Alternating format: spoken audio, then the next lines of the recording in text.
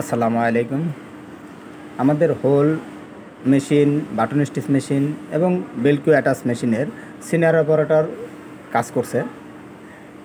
এই অপারেটরের এই নির্দিষ্ট যে স্লিপ টেপ, এই স্লিপ টেপের অ্যাটাচ করছে বেলকিউ মেশিনে, এটাতে আমাদের নির্দিষ্ট প্যাটার্ন নেই। এই প্যাটার্নটাতেই আমাদের কি স্টিচটা একটু পাতলা করে দিতে হবে, স্টিচটা ঘন আছে। তো আমরা এই প্যাটার্নটাতে দেখেন কীভাবে স্টিচ পাতলা করতে হয়, আজকে আপনাদেরকে দেখাবো। স্টিচ পাতলা করার জন্য আমাদের প্রথমে মেশিন রেডি থাকা অনবস্থায় যে কোনো একটা প্রোগ্রাম আসতে পারে। আর আমরা অবশ্যই যে প্যাটার্নটা করছি, ওই প্যাটার্নটা নির্দিষ্ট থাকতে হবে। এই প্যাটার্নটাতে গিয়ে আমরা যদি রেডি করা থাকে রেডিটা করে নিয়ে আমরা এম বাটনে চাপ প্রয়োগ করব। এম বাটনে চাপ প্রয়োগ করে আমরা এই অপশনটাতে চাপ প্রয়োগ করে আবার এম বাটন চাপ প্রয়োগ করব। করার পর এরকম আসবে। এরপর ইন্টারপ্রেস করব। দেখেন ইন্টারপ্রেস করার পর আমরা কর্নারে এই বাটনটাতে চাপ প্রয়োগ করলে আমাদের রিসেট অপশন আসবে রিসেট চাপ প্রয়োগ করব। এরপর আমরা মেমোরিতে চলে যাব ডাইরেক্ট আমাদের ছয়শো নম্বর প্রোগ্রাম সেই প্রোগ্রামে চলে যাব নো করব ইন্টারফেস করব। এরপর আমাদের মেমোরি দেখাবে। আমাদের যেহেতু ছয়শো নাম্বার খুঁজতে গেলে সময় লাগবে, তাই আমরা ডাইরেক্টলি এখানে নো পজিশনে আমরা ছয়শো লিখে দিব। দেখেন। ছয়শো লিখে ইন্টারপ্রেস করব এবং আমাদের ছয়শো নাম্বারটা অটোমেটিক সিলেক্ট হয়ে গেছে, দেখা যাচ্ছে না। এখন দেখেন সিলেক্টটা সরাইলে দেখা যায় ছয়শো। ছয়শোটাতে আমরা গিয়ে ইন্টারপ্রেস করব। ইন্টারপ্রেস করলে আমাদের পূর্বের ডায়াগ্রামটা চলে আসবে। পূর্বের ডায়াগ্রাম চলে আসলে ফরওয়ার্ড রিভার্সিং মানে আমাদের দিয়ে আমাদের এই প্লাস বাটনটা চাপ প্রয়োগ করে আমরা কি করব? আমরা রান করে দেখব। দেখেন, আমাদের এ পর্যন্ত স্টিচটা করা আছে, এটা দেখার পরে আমরা আমাদের সার্চ অপশনে চলে যাব। সার্চ অপশনে গিয়ে আমরা স্টিচ কম বেশি করার জন্য যে অপশনটা সেই অপশনটাতে চলে যাব। আমাদের বাষট্টি নম্বর অপশনটা হচ্ছে searching option. Stitch length stitching piece change এই চেঞ্জ করা যাবে। এটাতে আমরা কী করব? আছে যেহেতু আমাদের সিলেক্ট করে নিয়ে ইন্টারপ্রেস করব। ইন্টারপ্রেস করলে দেখেন আমাদের টু মিলিমিটার স্টিচটা আছে। আমরা যদি এখানে সংখ্যার মাধ্যমে দিতে পারি এবং প্লাস মাইনাস করে আমরা দিতে পারব। আমরা প্লাস করলে দেখেন আস্তে আস্তে বাড়তে থাকবে। আমরা এখানে থ্রি মিলিমিটার আমরা যে কোনো মিলিমিটার দিতে পারি, তো আমরা সাধারণত থ্রি মিলিমিটার দিলাম। স্টেজটা পাতলা করে দিলাম। এরপরে ইন্টারপ্রেস করব। ইন্টারপ্রেস করে আবার এই অপশন আসবে, আমাদের আবারও ইন্টারপ্রেস করতে বলছে সেভ করার জন্য। হ্যাঁ ইন্টারপ্রেস করার পর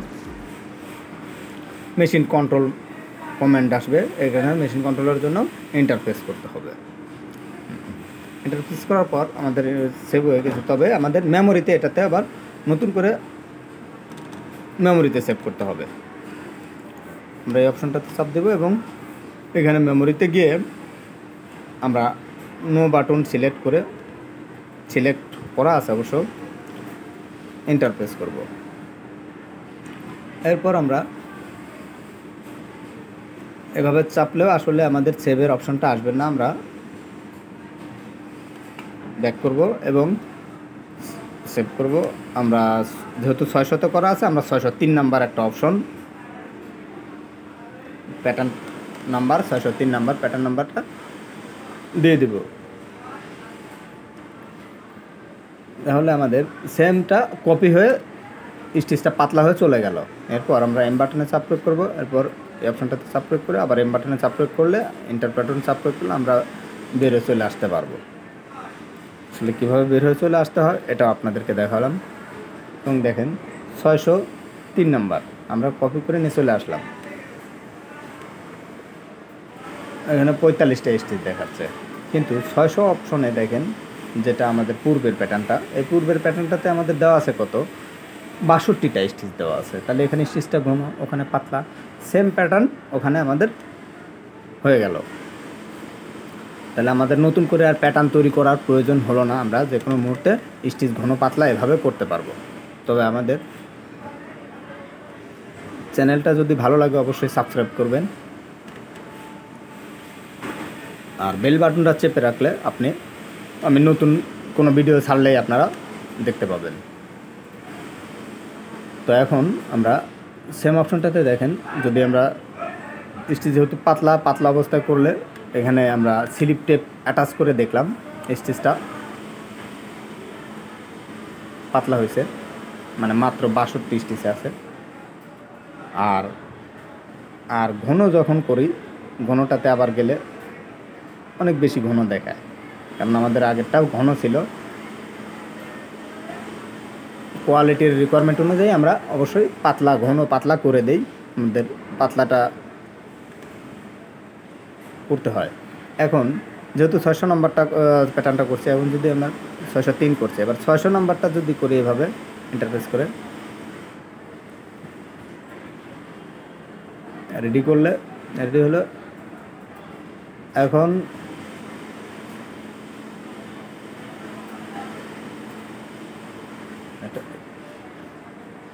পূর্বের প্যাটার্নটাতে আমাদের স্টিচটা অনেক ঘন আছে।